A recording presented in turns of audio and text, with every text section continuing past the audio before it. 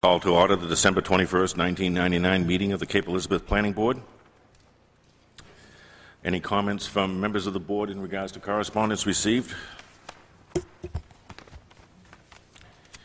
Hearing none, the first order is approval of the minutes of the previous meeting on November 16th, 1999. Is there any discussion? No. May I have a motion? Motion to accept the minutes as written. Second? Motion's been made and seconded to accept the minutes as written. Further discussion? Hearing none, all those in favor, please raise your right hand. Thank you.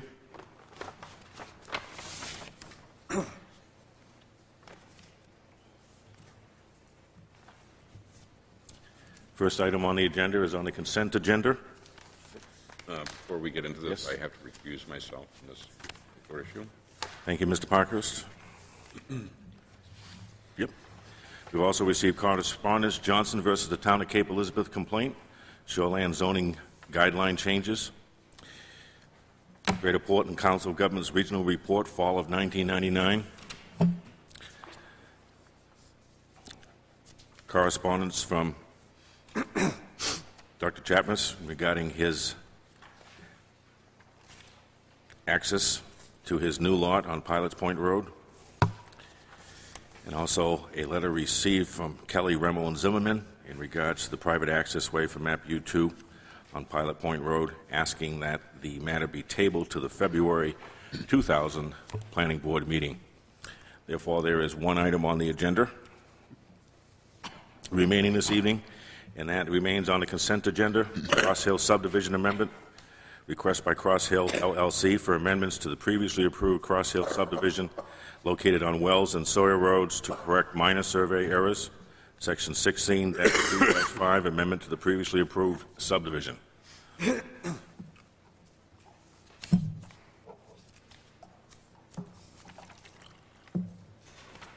Maureen, would you like to fill us in on this? Um, Amy Siegel is here in case the board has any questions. The proposal this evening is uh, to do nothing except correct uh, what is being called Scrivener's errors in the original subdivision approval. Um, There's approximately two pages of changes to dimensional standards. For example, changing in dimension from 30.12 feet to 30.13 feet.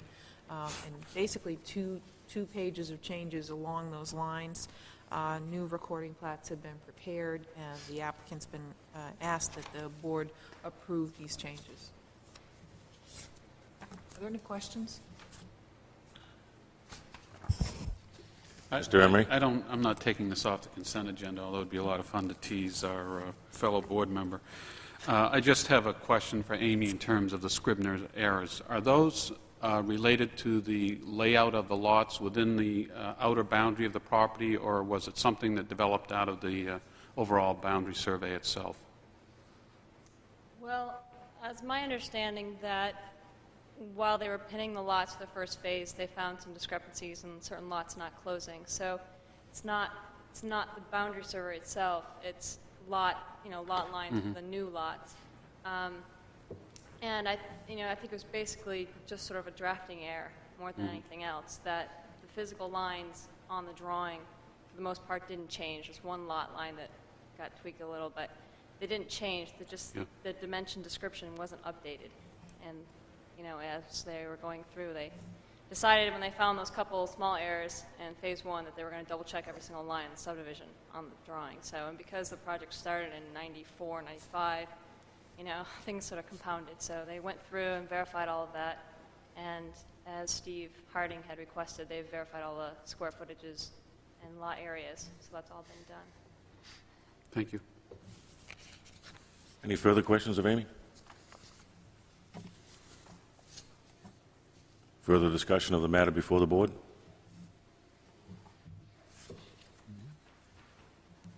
Mr. Emery? If I might, I'd like to make a motion. Uh, Be it ordered that based on the plans and materials submitted and the facts presented, the application of Cross Hill LLC for amendments to the previously approved Cross Hill subdivision located off Wells Road and Sawyer Road be approved to the, cons- as a consent agenda item. Thank you, Mr. Emery. Do I hear it? Thank you, Nancy. Been made and seconded. Is there further discussion from board members? Hearing none, all those in favor, please raise your right hand. Passes unanimously. Thank you.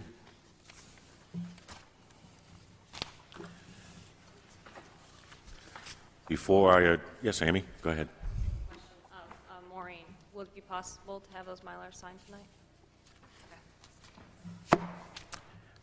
This is going to be the shortest planning board meeting on record by about four minutes.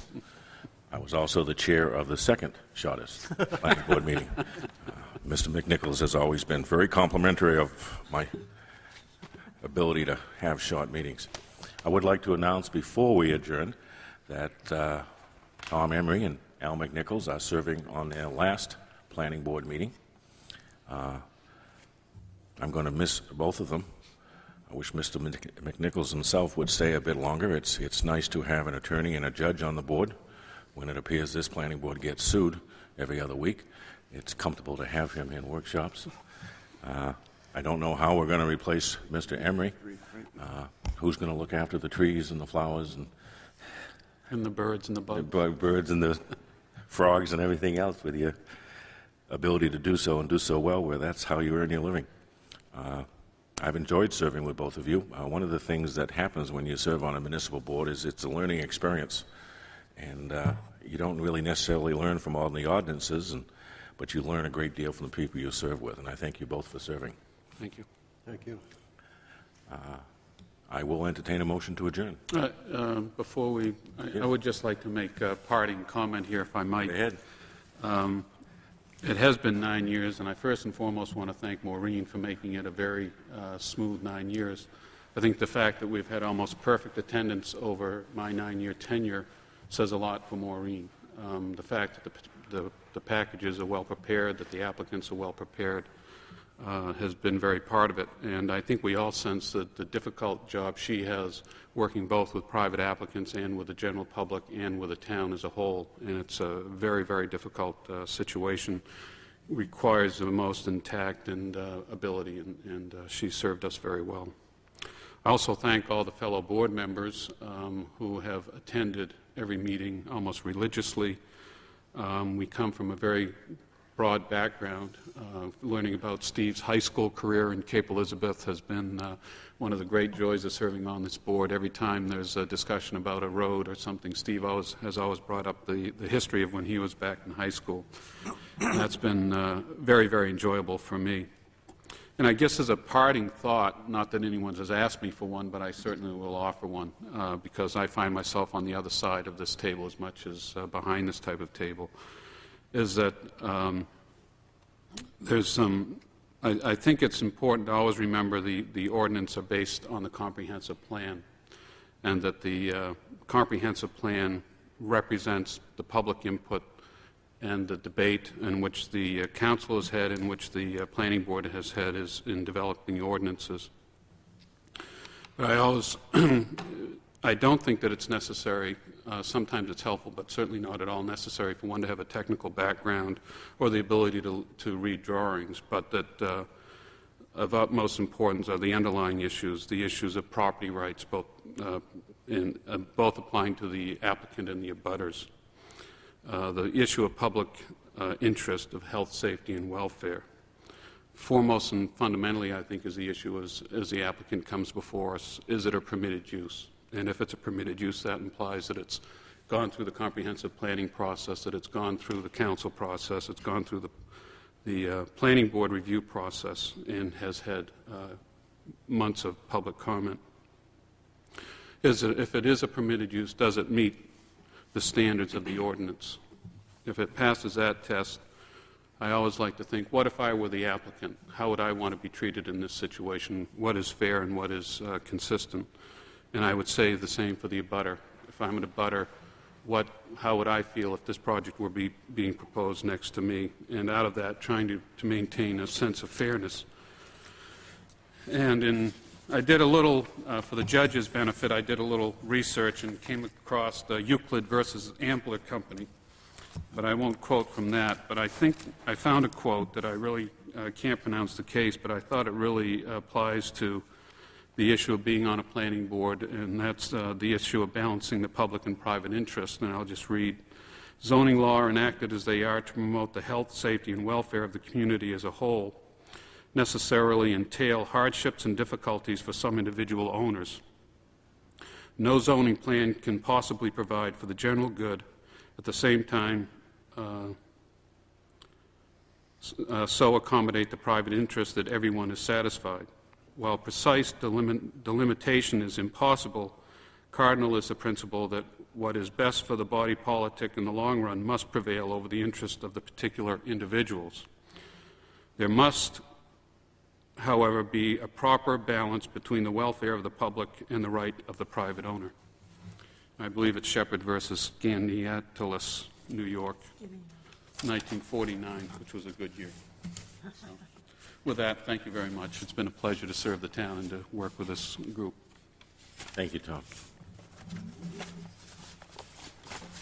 Any parting comments, Al? No, I'd just like to uh, thank Maureen. Um, I suppose it's the mark of a real pro to make it look easy, and she always makes it look easy, and it isn't. It's a pleasure to work with her and all the members of this board. I think it's been a very productive board, and I've enjoyed my time here immensely.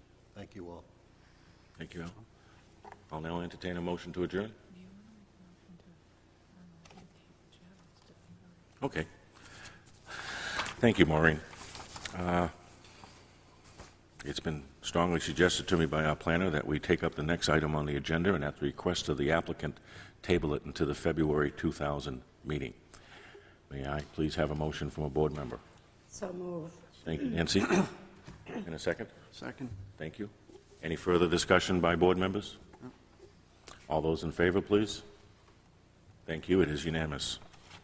I can now entertain a motion to adjourn. So moved. Thank you, David. A second? Second. Thank you, Nancy. Moved and seconded. All those in favor, please raise your right hand. We are adjourned. Thank you very much. Well, Miss you. Well, I'll be around.